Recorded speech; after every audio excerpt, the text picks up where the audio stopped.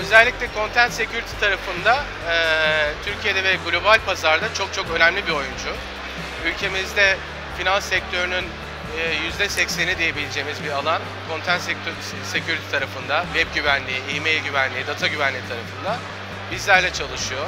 Farklı segmentlerden, kamu sektöründe, özel sektörde, ARGE yapan, endüstri sektöründe, FMCG'de birçok farklı alanlarda müşterilerimiz var ve bu müşterilerimizi bu üç ana güvenlik katmanı tarafında koruyoruz.